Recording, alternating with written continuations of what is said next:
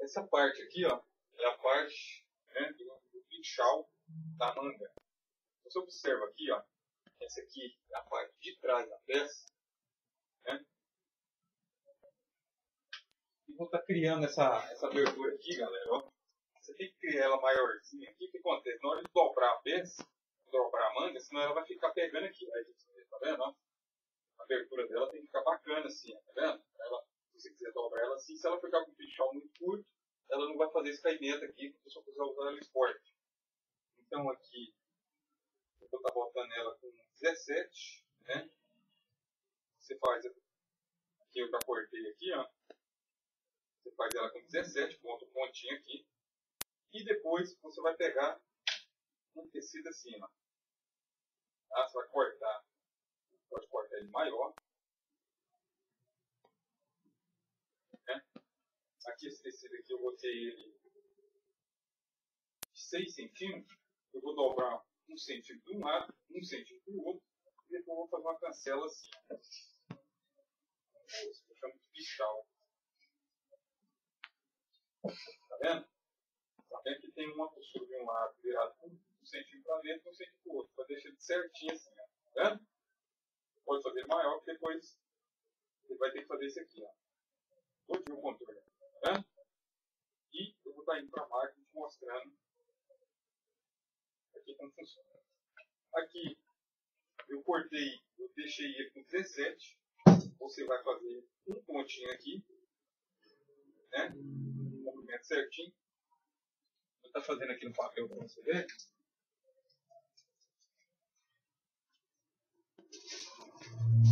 Você ter uma noção.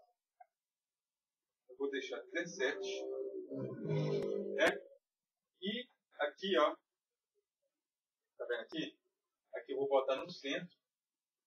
Certinho, ó. Vou saber a largura do pichal que eu quero, certo? E vou fazer isso aqui, ó. Vou deixar uma pontinha aqui. Vou estar fazendo só o teste para você ver. Ó. Não, vou até lá no fundo, ó. E aqui tem que ser precisa. Sua ponta de tesoura tem que estar top. Você vai lá na pontinha, vai fazer isso aqui, ó. Né? No tecido. Tá bom?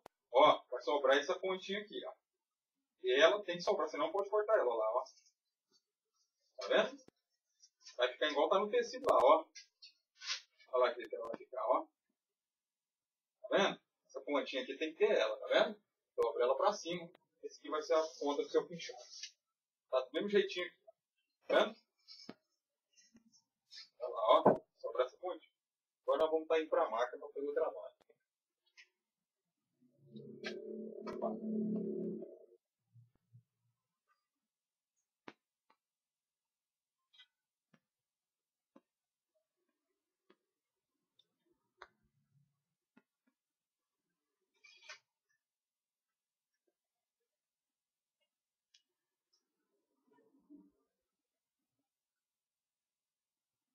Botando bem pertinho aqui, para você ter uma noção melhor.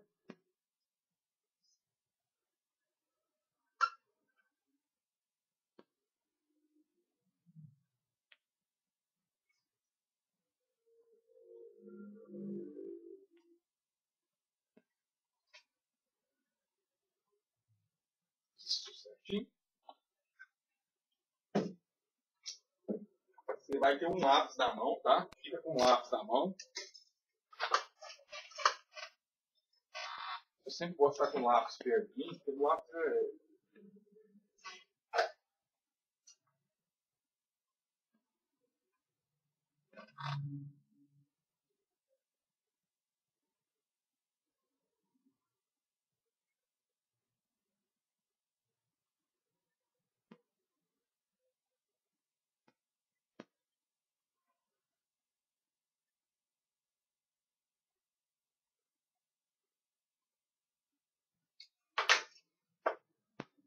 costura a camisa só com agulha fina.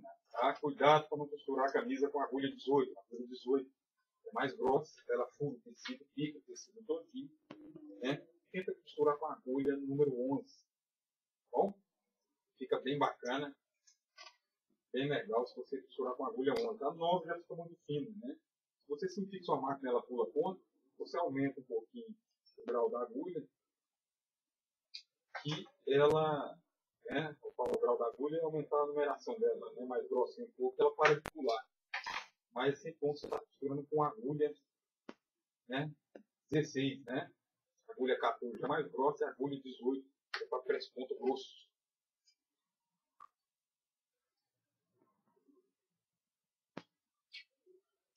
Aqui você vê que eu estou do lado avesso da peça, certo?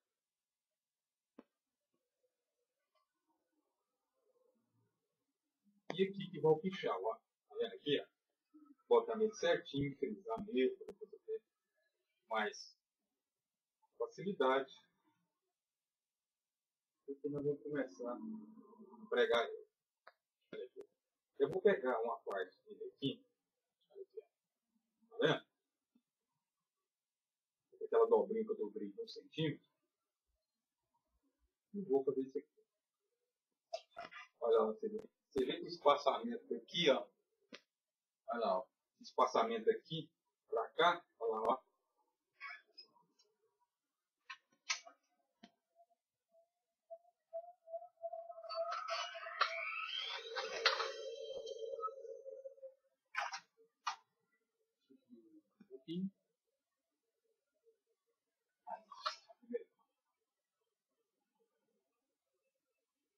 Tem lápis na mão, fica com o lápis na mão. Sempre observando o ponto de cima e baixo, para ver se a máquina não está puxando, o ponto está travado, está sempre regulando, se soltando, soltando, porque senão a camisa ela fica amarrada. Olha lá, ó. Naquele pontinho que a gente chegou lá, que eu fiz dois pontinhos aqui aqui, foi três pontinhos, foi? Eu fizemos uma abertura.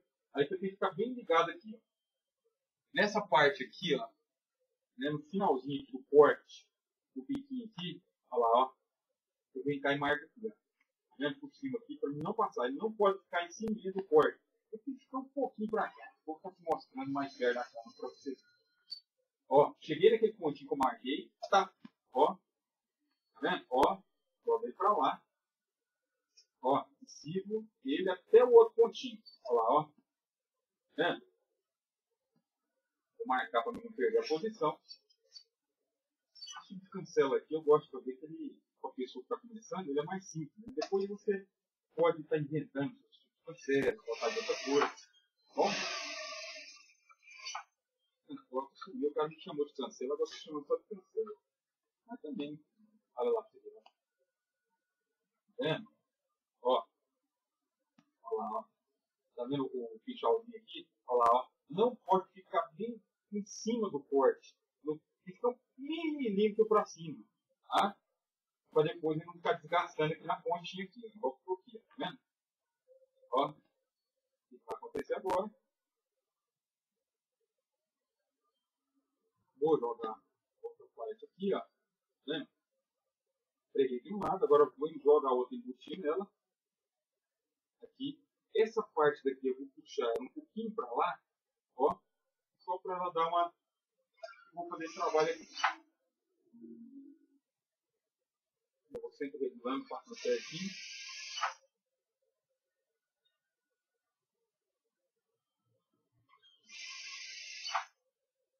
Você vê que eu estou escondendo a outra parte, ó. Tá? tem que ficar certinho em cima, não pode coisar, senão depois o cantinho solta, tá? Tá certinho. Olha lá que ele ficou, embuti todas as partes, ó. Olha lá, ó. Vendo? Ó, não vai soltar nem nada, tá aqui pra ver, tá? E não pode ficar soltando aqui, senão depois dá uns biquinhos aqui no cantinho, igual o cantinho de bolo, dois vidros, né? Que eu ensino a fazer. Tem que ficar bem certinho, porque senão depois o futuro vai lavando, vai soltando. Tá bom? O que acontece? Eu fiz com a manga aberta, mais fácil. Né? Agora eu vou procurar o lado certo tá? da peça. O lado correto. Olha aqui, ó. Lado certo da peça, né? o lado de fora. Olha lá, ó. Tá vendo? Estou te passando um jeito mais fácil. Para você não ter tanta dor de cabeça para ficar criando de chau, né? Bom, olha deixar ele desse jeito aqui. Tá vendo que ele sobrou e fica esse trem bacana pra cima aqui, ó. Ó. Não ficou isso aqui pra cima? Toda a parte embutidinha. Eu sei que essa aqui é a parte de fora. Eu sei que essa parte daqui, ó. Essa menor aqui, ó. Qual que vai essa? Essa é a parte do botão. É a de dentro. Então essa parte aqui, ó, eu vou ela para cima, porque essa parte aqui vai ser a de fora. Olha lá, ó. Você vê aqui que ele já criou o biquinho aqui bacana, ó. Olha lá, ó. Tá vendo? Olha o biquinho ó, de, de ponta de flecha. Tá vendo? Esse biquinho é o ponta de flecha. Eu sei que o tecido está aberto, fica mais fácil, ó. Está aberto, se for manga fechada, fica mais difícil. Então tem que pegar o pinchal antes de fechar o lateral da peça. O que, que eu vou fazer aqui? Ó. Eu vou saber o tamanho que eu quero abertura. A abertura uma grandona ficou bacana, né? Eu vou fazer isso aqui. Vou dar um triplex aqui. Né? E vou fazer o biquinho aqui. Ó. O biquinho ele quase faz automático, ó. Né? Vou reforçar aqui o canto e vou finalizar aqui. Eu explico, professor, muitas vezes, viu quando você vai, você cria suas peças, você começa a passar as peças? E daquele botãozinho aqui é uma miséria, não precisa fazer aquele botãozinho aqui, ó. ó aquilo é depois do passado, aquele, aquele botãozinho aqui. O que acontece? Para passar roupa, fica uma porcaria, né? Porque o sinal na peça, não é agradável ela, né? Aquele botãozinho aqui não precisa daquilo. E aqui, ó, eu vou fazer o pichal assim, ó. Ó, você faz o pichal assim, mais perto da aqui da do pichal, ó. Tá? Vou fazer isso, depois quando eu for pregar o punho, né, eu dou mais um, eu solto esse aqui só para você ver como é que é a noção. Porque esse aqui, na hora de passar, tá, fica bem bacana. Tá bom, depois é só acertar as pontas aqui, fechar a lateral e pregar o punho certinho. Tá bom? Um jeito bem mais simples, troca e cancela. Bonito. Agora eu vou chamar de cancela. Aqui, ó. Tá vendo? A ligeira da cor do tecido ainda para ver. Ó. Ó. Olha lá. A parte de dentro agora, ó. Olha lá, ó. Tá vendo? Sem ponta, sem nada, fica bem bacana. Tá bom? Um abraço. Aqui é dos cursos do vídeo. E até a próxima.